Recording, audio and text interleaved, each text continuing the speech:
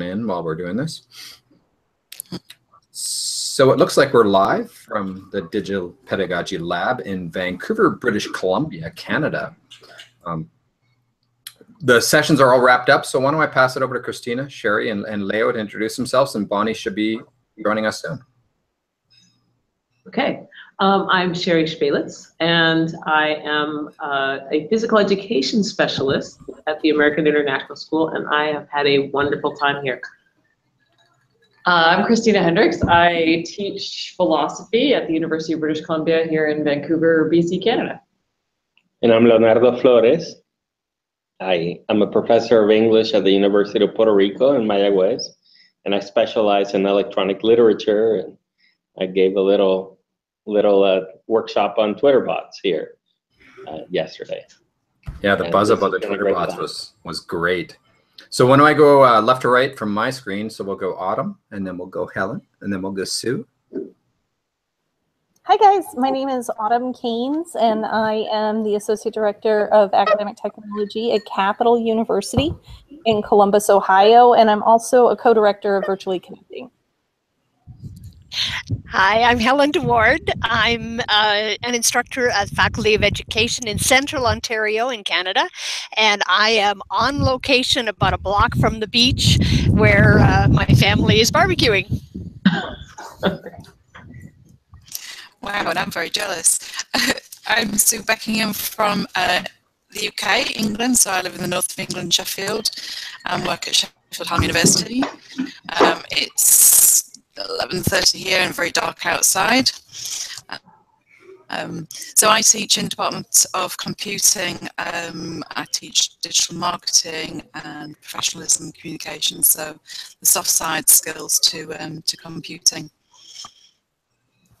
And I'm Ken Bauer, originally from close to you there. I'm originally from Victoria, but I've been in Mexico here in Guadalajara for about 22 years. And it's beautiful outside, and my family are eating. But I'm here because all my friends are here. Hi, Ken. Oh, we've got hey, a new Bonnie, person. you came. Great. Yes, and We're just introducing ourselves. is it my turn? Yeah. Yes, it's I'm your Bonnie turn. Stewart, and I uh, am from Prince Edward Island, but I'm delighted to be here in beautiful Vancouver, where I lived a long, long time ago, revisiting my old haunts and uh, meeting up with awesome people that I haven't gotten to be in person with before. So, and all of you awesome people out there. Wonderful. So, what would you like to talk about? We, we started talking to Leo about his Twitter bots a bit yesterday, and you might want to talk about that, or as well as the sessions you've been running, Bonnie. Um, I would love to hear about the Twitter bots because I did not. I actually didn't go to uh, to the workshops yesterday because I was getting ready for today. Um, I'll just quickly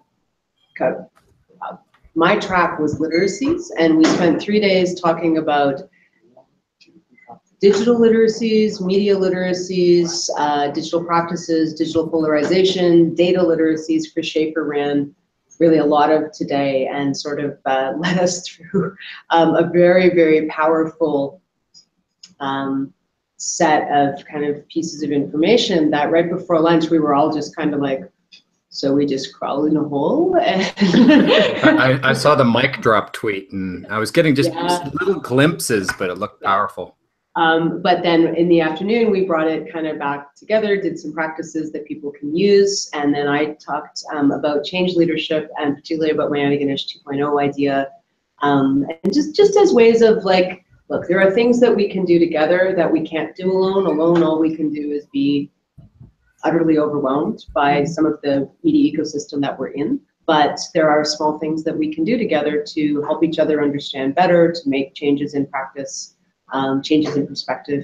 And I think that Jesse's opening to the day with his queering open keynote, which was like powerful and long, long overdue, um, because that whole field of open, um, I think, is is very much in need of of that conversation around who belongs and who gets to be in these conversations and a refocusing so that it is much more on on who and not on what um, open means. And I see that as relevant to some of that media literacy, data literacy conversation as well. I think there's a, a really important call there that I, I want to listen to, and I felt deeply called in by.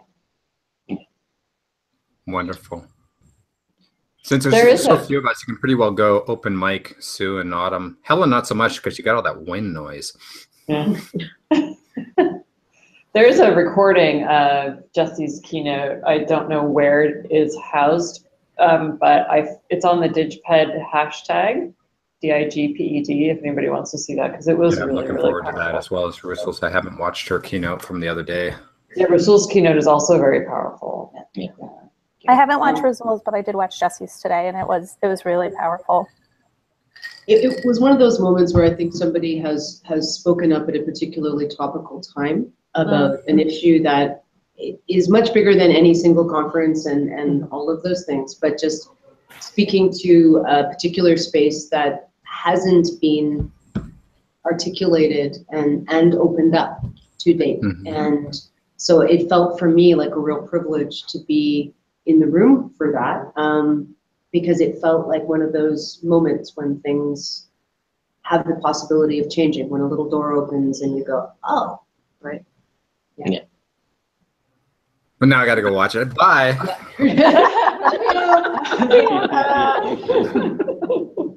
I will. Yeah, it was, um, it was neat. And it was a great day. I, I had the delight of having a very full track full of really interesting people from all kinds of backgrounds, including um, folks who really came into the literacies track overtly without a great many self-identified digital literacies or necessarily an interest in developing them. And uh, so the the one um, person who started off by kind of when he introduced himself, he had said that you know he really he really wasn't sure about all this stuff, and he had some some ideas about digital that he shared with us, and um, he intentionally didn't do any of these things. He ended the three days by saying, "Okay, can you invite me to that Slack after all?" Wow. Um, Very so I, I really appreciated his open mind, and uh, yeah, it was pretty that that just That's you know special. hope that we can continue to connect, I guess, and that I think that humanness of Mhm. what um, what DigPed is eventually resonated to the point where because I think many many people have a sense of that the technology is this cold anti-human thing, Mhm. and when technology is used and wielded as a cold and anti-human thing, I have very very little interest in it, and and and very much a an interest in subverting it. Um, but at the same time, it has given me connections with all of the people Like- like right now, on this Bonnie. call, right? Like Um, I, I, I, I joked about it, but my family's out there eating. But this this is Yeah. I, well, I won't say equally your important, friends, but this is very important. These are my for all of friends, and Yeah. yeah, it matters.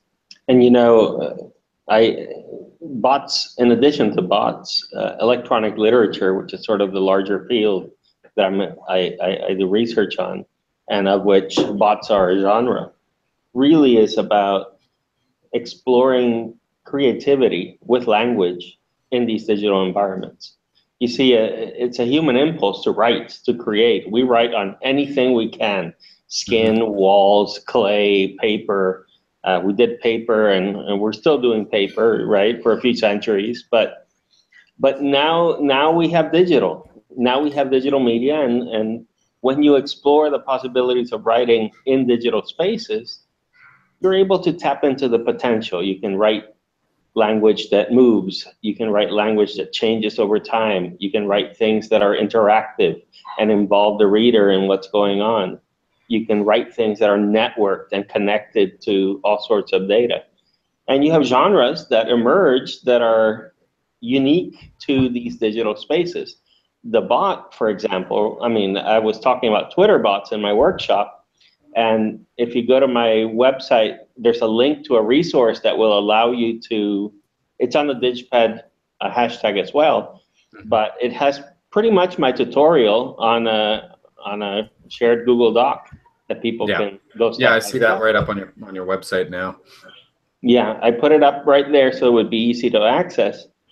Um, that has been remarkably empowering for the twine for for the trans community. There's actually quite a bit of of trans uh, LGBTQ uh, community members that that express themselves through Twitter bots. Twine is also another important recent platform that has given a voice to a lot of authors from queer communities. So so it opens up spaces and and different communities uh, explore them creatively, collectively, and uh, you know wonderful things happen from that. So I'm very interested in that creativity and and how it's powerful for human beings. Wonderful.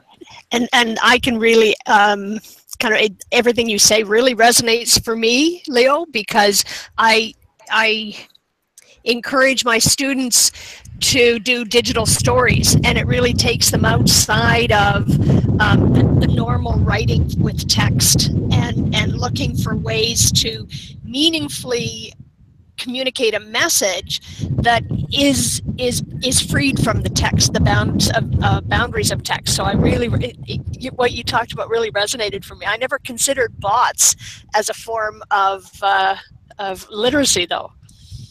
Yeah. Well, the nice thing about this cheap bots done quick platform that I was using is that it's super simple.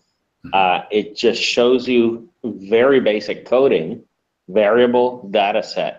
Just with those two things, you can make remarkably sophisticated little bots, uh, even that are interactive. And just with that, I mean, I've, I've taught it in my classes several times. The students produce uh, many bots, whether they're creative or activist or functional or just humor. Uh, you know, when you create a bot, you're creating a character. It's it's sort of an extension of literary tradition, really, because Oh, that's liter- interesting. hmm yeah, I mean, I love that. in stories, characters do things, right? Right. And what they do has been done. Um, but in so so you can only tell the story of what somebody or what a character did. Mhm. When you create a bot, you're creating you're programming behavior into a character Mhm. that is there and can act. It's an Without you. And it's, it's fascinating in, in the sense that a lot of the conversation that we had with um, Chris Schaffer today in my track was about, you know, many of the other much more negative effects of bots, particularly at scale, the ways in which they are hmm deployed intentionally to um, affect algorithms and media and ads that go out and sort of they're part of a, a very problematic revenue stream and they can be i know personally they can be used to seed attacks and hate. Um, at the same time i think to because i have probably begun to see them solely as kind of negative inhuman. So thank you for that reminder that i need to continually be reframing um, my own responses to things. I think the piece about keeping it small, like the bot, the bot for for you is a small entity as opposed to a big business bot. Mhm. Yeah, they're they're handcrafted, right? They're this artisanal little Yes. creation that somebody creates and it expresses a range of possibilities. artisanal bot Yeah. Peoples, very- Peoples talks about um, artisanal ed tech, Sure, and you can keep coming back and, and modifying it, Mm-hmm. right? Yeah, exactly. changing the story. I mean, one of my favorites is this little bot called Magic Realism Bot. And Yeah, it generates these magic realism narratives that are just just they it has over 100 I think 100,000 followers maybe it's 70 some thousand followers but it each little narrative I mean just kind of blows minds it's this beautiful generator and and there's so many so many others like that Right. I mean we're talking hundreds and thousands uh, I follow hundreds I'm interested in the artistic and literary one and Mhm. they kind of it's good that there's a sort of positive creative response to all the negative bots because they really give bots a bad name Mm-hmm. Mhm. uh, they've been abused and and used very very negatively for sure. So last year in um, Fredericksburg, I was in Audrey Watters track, and um, we spent a day building Twitter bots. And before that, I had um, very much like Bonnie this idea of like Twitter bots just being these like annoying things or sometimes um, predatory kind of things. Um, but we we because it was the action track and we were looking at activism, we looked at um, protest bots and um, and we read an article from Mark Sample beforehand about what makes a, a, a bot a, an activist bot, you know, and we gave some examples of some different things. And yeah, I mean, you can, it's not, it's not something you can simplify. It is a very deep and rich subject for sure. Yeah, Yeah, that was the John Henry bot. I still follow. Oh yeah, the the Black Ed Tech Cat bot. We but we built that during. hmm So we should be following the bot you built today, Leo?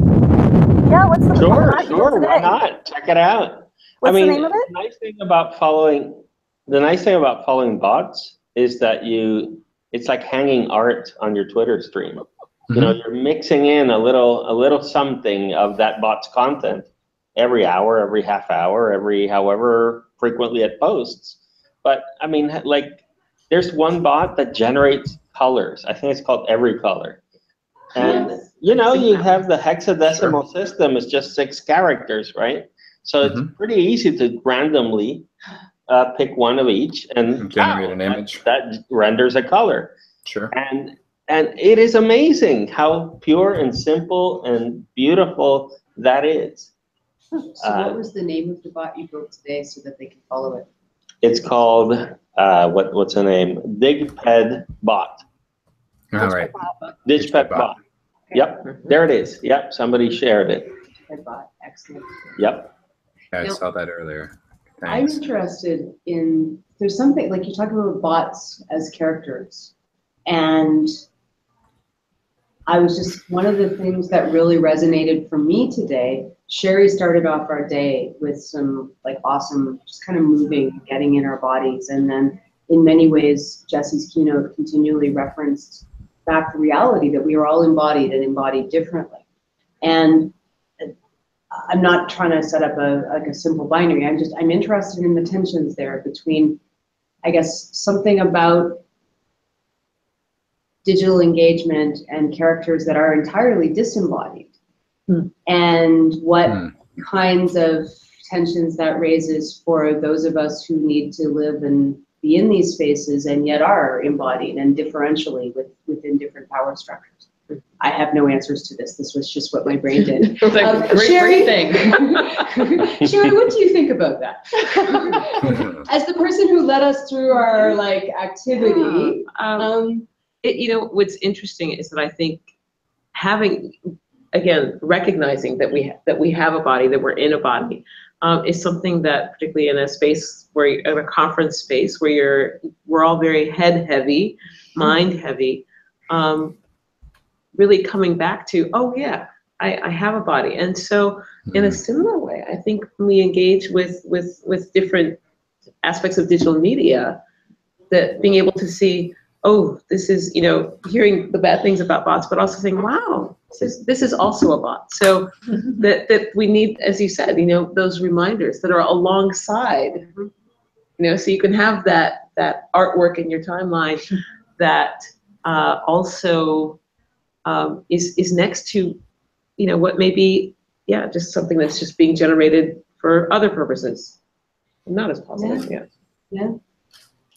well the other thing is and and i don't want to make this dominate this conversation on bots many bots and and cheap bots done quick can't do this it's it's a fairly simple tool rudimentary even but uh, many bot makers tap into say the the twitter api and there's this wonderful there's this wonderful bot called pentametron by ranjit bhatnagar in which it detects tweets that happen to be in iambic pentameter. It, it sends it through a dictionary. Wonderful. It, it, you know, detects the meter. And then when it detects one of those tweets that is an iambic pentameter, it holds it in a database.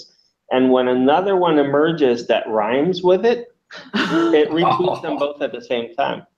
Oh So my it's- gosh. I'm gonna start tweeting and I am. Yeah. Yeah. Oh, yeah. Like an experiment going forward, we should Right, all to try see. it. I need to, of course, read about. Re- I have to review, like, Remind right, myself, I I believe am. that's picked Shakespearean and language, tabulated. but Yeah. that's about where I'm It at. is, yeah. So, so basically, it's generating this sort of Shakespearean couplets uh, going on, like it's been going on for years, and it's wonderful. It creates these like juxtapositions between tweets that have absolutely no relation to one another, but come from very human places. Mhm. This is where I want to cycle back. Someone tweeted about this, and Right. it could be about their day, about whatever Mhm. and it's placing completely different people in conversation and we conceptually our minds can't help but create a relation from that juxtaposition and it's often a humorous response but there's also beauty there's also uh, uh, really i don't know just plain delight in it Right. Plus the juxtaposition in time because you stored that and then it's not going to come out till later when the, the trigger happens. Yeah. And then that person who sent that tweet like last week or a month ago, all of a sudden that comes back in and they're Well, it's pretty fast because it's actually streaming. It's it's rolling, sifting through ten percent of of the Twitter stream. So it's quite topical. I remember when the when the I mean whenever there's a major sort of either joyous or traumatic event, uh, Pentametron reflects that sort of Mm. topical Right. uh, thing. So so it's also sort of a poem a poem distilled from this moment Mhm. as seen through Twitter. So there's there's there's there's these neat neat things where it reminds us that it's connected to to real world and real bodies and real people tweeting and sharing their That's a experiences. great point. I, I have a question actually for Sue, because Sue, you're up at, like, it's almost midnight for you, right? Um, Right. That's What, right. what, uh, so what is compelling you to keep, stay up until midnight for this? I, I mean, I'm just, I'm, I, because I'm thinking. I'm crazy.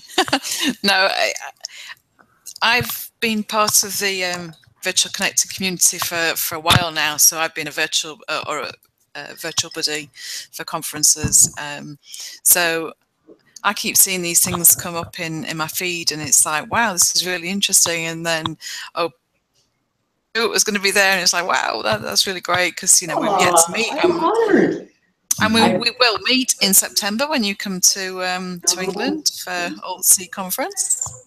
Sue, I'm so excited about that. Um, part of that, that actual, I think, uh, Facebook conversation about, oh, we get to meet Bonnie. No, we don't get to meet Bonnie. Turned out that uh, my keynote got moved from virtual to face to face. So Face to I didn't Yeah. realize that. I saw just the first part of that conversation, and I thought it was a virtual keynote, so they moved it. yeah, they actually moved it. Um, they've been really wonderful, and they were trying to do something interesting, kind of with a virtual keynote. And so I um, had the privilege of being part of something with Dave White and um, Pete, Peter uh, Bryant um, that happened at the LSE. It was a, a hackathon, and I came in and did like a little five-minute provocation, kind of like Audrey and a number of other people did yesterday in the open track here. Yeah. Um, and they had invited me to keynote, I think partly based on, they were thinking of a virtual keynote, and so I had said, hey, you seem to be able to talk to people that you can't see. So, so uh, why don't we give this a shot? And I thought, that's exciting, but then, you know, and I mean, it's always great to have the opportunity to speak anyway, but frankly, when people kind of said, no, we'd really like to see her and have her come, and it turned out that I was able to do that in my schedule, I was thrilled. Um, you know, I recognize that probably there are lots of ways in which conferences do need to begin thinking about more and more types of virtual connection, um, excuse me, like you folks offer, but at the same time, I'm pretty excited to get to put my arms around some people. Mm. Absolutely. So Yeah, yeah, I it's was- just I I was just going to say, so it's it's it's Twitter really. Twitter's just kind of opened up the world, um, made all these connections possible, and you know, that the invitation's there. You can you can jump in. So staying up for you know a few hours later, um, it's not much of a hardship, is it? When you can have these interesting conversations and fascinating things about bots which I had no idea. You know, I'm just looking up them up now. So, you know, you come away learning something new every, every time. So yeah, it's a privilege and um, yeah, it's good. Well, thank you for that. I, I was just, I, I thought, wow, what? Although I will say that last year, uh, during Fredericksburg, that I also was up at midnight in Vienna Yes, because, but I, but I also got to be in conversation with Audrey, with Tressie, with Jesse and Sean. And, and those, were- I mean, I just was, just, I almost couldn't speak. I was just so thrilled. So it's cool to be at this end. Oh, It's George. It's George. Yay, George Okay. is here. Hey. Hello. Autumn uh, saw me online doing something and went and found me. So I said, get over here, George. Come on but over. it was it was really what did it was the artisanal ed tech bot thing. All right. It's, it's like, well, that could only happen when a certain type of group of educators gets together because you, you, you could get two out of those three things, but not all three, right? How are you, George? hey, doing good. How are you all? Yeah. Really Yeah, great. good- Really, good to see. really great. Great to to be here. See you well. Uh, yeah, so I, I'm looking forward to next week. I'm going to be in Fredericksburg. So Are you? yeah, so Oh. I, I had I had to pick one, and um, and see, so, oh, I guess I better ask. Did did Ryne make it? Did, uh, did does that Ryne? Uh, we had one of our librarians uh, from Cal State Monterey Bay. That is sounding the, I, I, hmm. When I we were in like- um, Robin's track at Virtually Connecting and people were going around introducing themselves, somebody said that they were from Cal State Monterey, and I was like, huh. Hmm. So Oh, that I, would- I think I didn't catch the name, but I did That's catch right. somebody from your Track. Uh, so Robin's track, there's actually no one in this conversation from Robin. Okay. Yeah, Brian probably did make it, but none of us Right. apparently uh, made it to Brian. So, hi, Brian. Um, No, no, it's, so glad it's, you could it's join Ryne. us. Odd, oddly, it's uh, it's R Y N E. Ryne. Uh, uh, Oh. and, and, uh, uh, he's uh, uh, he says he's uh, not actually named after a Chicago Cubs player, but there's a long story behind that. There's, We don't there's believe him. We think and- he's just yeah, making that up. exactly. We don't. Yeah, we don't believe him. So you know what I want to know? I what I want to see a close up of. I see some folks have their Lego avatars, and I remember that from last year, and I'm just kind of curious because I think they're adorable. Can we can we see some of them a little closer? Well, I'm a bearded Lego pirate. Here you go. There you go. Kind of like a space Jedi pirate. Adorable. Okay, that's awesome. Yeah, mine is, uh, sorry, I'm gonna squeeze in here. So, um, I can't remember the person's name who made this, but I'm just holding a coffee cup. Uh huh. Because, um, when I arrived on Friday morning, I was like, oh my God, the coffee is gone, it's out. How Yeah. can this be happening? And The then sky is falling. the sky is falling, so he made me a coffee cup. And it's still empty. It's- We got more the next There was lots of coffee day two and three. Do you- I heard about that. Someone said they don't are have smugly don't have my, tweeting because they don't drink coffee and everyone was running out of coffee. Somewhere. And I wasn't there for the Lego thing, so I have my uh, usual David Bowie pin on, which is my nice. avatar. You know, David Bowie's your spirit animal. So. My Patronus, at least. I do, I do want to say a word about the swag here. Okay, first of Uh-huh. all, the name tags are awesome because Yeah. they're the, ma- they're magnets. Yeah. And they are just so, I can't wait to wear this elsewhere. I don't care if I'm on the street. Hey, everybody, look at my name tag because it's so cool. Um, And mine says literacies, like I'm literate. Mine mine does too, and I'm thinking that I might just wear it on the plane tonight. I mean, this is one heck of an icebreaker. Yeah. Yeah. For sure. It is. It's a lot of fun. I like that exercise a lot. Yes. It's fantastic. I wish I had mine to share with you all. It's a little, uh, I'm not sure exactly where it is. I should probably dig it up because I'm going to be in Fredericksburg for the last two days. So I'm just going to be there on Oh, Thursday oh, and good. Friday. Yeah. Um, but uh, it's a uh, it's a warrior mermaid with oh, uh, wow. That's pretty awesome. Wow. It's funny, That's yeah, like I like- can, That's that's that's really just totally cool. The Warrior Mermaid, and, and I, you know, it's like okay, I'm ready for this. I'm ready for this now. So do you Um, make do you make your own or does somebody make one for you? You have a conversation with somebody, and as you're having a conversation, there's this pile of Legos, um, and you just pick stuff that they've talked about and kind of put it together. And the only problem is, if you don't grab your stuff quickly enough, like there's not much left. Mhm. Right. so you're like, well, I'm giving you this hat because I can't find anything else. you're now a cowboy. Yes. Yes, Helen, to answer your question, yes, someone else should ideally make it for you Mhm.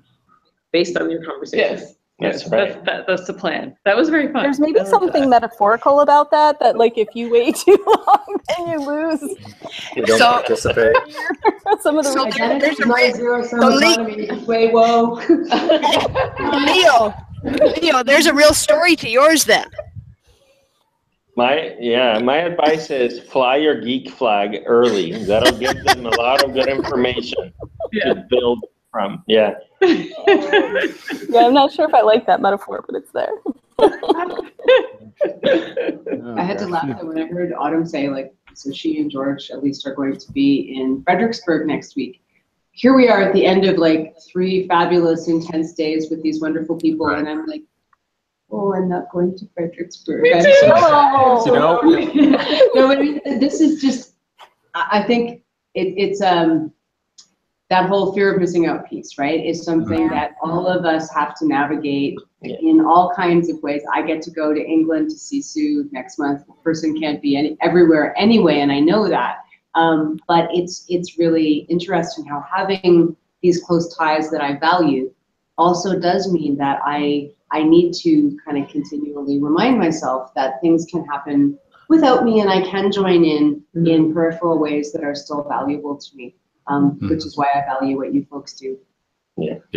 It's funny. And I gotta say, one of the things too, when you guys were talking about the keynote, I was like, I'm not even gonna be able to go to alt, but I remember reading that and I was just like, oh man, Bonnie can't go and be there. Like I know she would love to be there, and I know the people there would love to be with her. And I, I did get to go to London to OER 17 and I got to meet Sue and I got to meet some other folks that we, you know, um, talked to across the ocean there and and it was just it was really like this moment of you know even though i'm not going to be there i was feeling that i was like i want her to be there Thank you I'm so for glad. promo for me. It worked. So I um I've got to jump in with something because I was talking to my next door neighbor this morning about uh, the fact that you all were here and or in Vancouver and that I'm going to Fredericksburg and he's not connected except for being the next next door neighbor who knows uh, that I teach and um, he's going to be in Virginia next week on a bike trip with a couple of his buddies so we kind of started talking about uh, oh yeah, but we've got to kind of watch each other's backs and so on, which I know that Jesse was talking about in his keynote today. Is you know, in maybe indirectly or directly, right? Uh, um, with his, uh, um, it, I what I took to my neighbor because I saw about ten minutes of Jesse's keynote was that yeah, we've got to watch each other's backs because we're in this era where uh, you know, as educators having an opinion as educators being public as you know uh, a, the entire range uh, of uh, orientations genders everything else going on. Um, with thursday's tweets with you know everything that is just driving us batty these days and uh, uh, so in virginia um, i said okay and we have to watch the news because south of where we're going to be in Charlottesville, um, they said after the last Klan rally that they're going to do another one on August 12th. So that means that right at the end of the week, folks are going to be gathering again down to, not that far south of where we're going to be at UMW next week. And, and so my neighbor and I got to talk about that a little bit today, right? Um, Mhm. Because he's going to be in Virginia, right? So it's not like he's going to be watching from California. Um, so um, all of those things came together.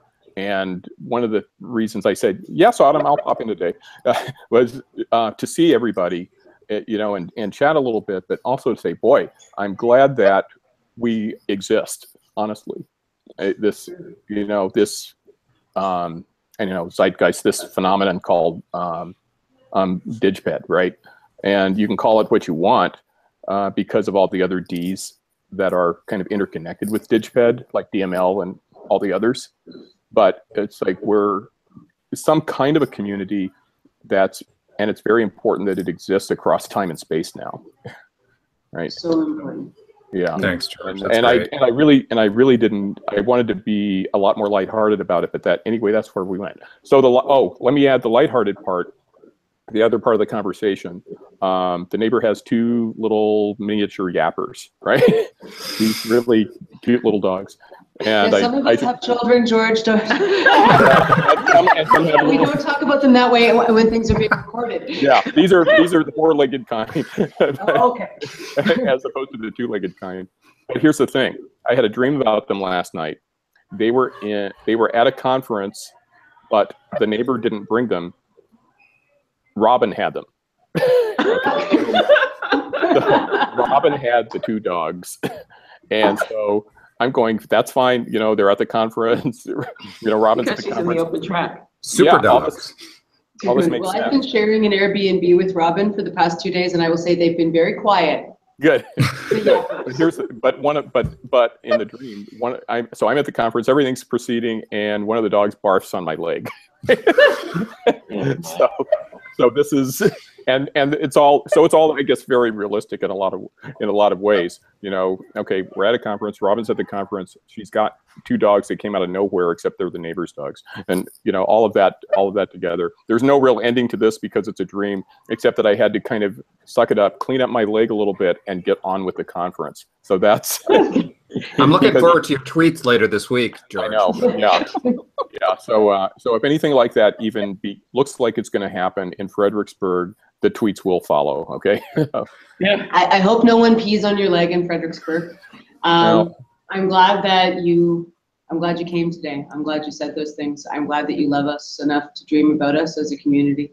Um, Yeah. I just, I love talking to you guys. I, I'm happy to connect today. I have to slip out. um, Yeah, and I but think we're running wanted say- Right on time. Thank you so much, gonna- Bonnie. They're gonna close us out of the room too, so. Thank you, Leo. We Thank you, to go. Christina. Thank you, Yeah. Sherry. Thank you. Thank you so much. It was nice. Soon, Sue. Pleased to meet you all. Take care. Hey. Travel safe back home. Bye, Yeah. guys. Leo, Love thanks, you all. thanks for the Buen body viaje, Leo. too. Gracias. Bye. Gracias. Bye.